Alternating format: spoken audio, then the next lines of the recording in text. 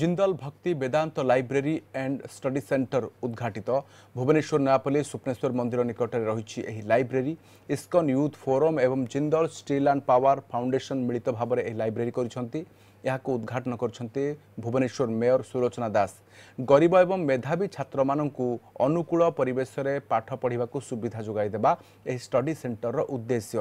ଏଠି ଛାତ୍ରମାନଙ୍କୁ journal ମାଗାଜିନ୍ସ news paper ପଢ଼ିବା ସହିତ ସେମାନଙ୍କ personality ଡେଭଲପମେଣ୍ଟ କାଉନସିଲିଂ ସ୍ପିରିଚୁଆଲ ମେଣ୍ଟରଙ୍କ ଦ୍ୱାରା ଛାତ୍ରଛାତ୍ରୀ ଶିକ୍ଷା ପ୍ରଦାନ କରାଯିବ ଏବଂ ଆ, ପାଠ ପଢ଼ିବା ସହିତ ପିଲାମାନଙ୍କ ଖାଇବା ପାଇଁ କ୍ୟାଣ୍ଟିନ୍ର ସୁବିଧା ମଧ୍ୟ ରହିଛି ପ୍ରତ୍ୟେକ ରବିବାର ଛାତ୍ରମାନଙ୍କ ସହିତ ବାହାର ଲୋକଙ୍କୁ ମଧ୍ୟ ମାଗଣାରେ ପ୍ରସାଦ ଆ, ପ୍ରଦାନ କରାଯିବ ଏହି ଅବସରରେ ଇସ୍କନର ବହୁ ଶ୍ରୀକୃଷ୍ଣ ଭକ୍ତ ଉପସ୍ଥିତ ରହିଥିଲେ इस लाइब्रेरी में 250 बच्चों की पढ़ने की व्यवस्था है और साथ साथ 50 से अधिक बच्चे हॉस्टल फैसिलिटी ले सकते हैं।